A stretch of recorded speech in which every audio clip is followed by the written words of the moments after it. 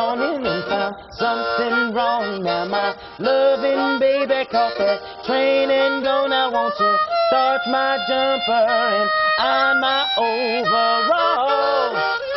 Woo! I'm gonna ride that train that they call the cannonball. Yeah!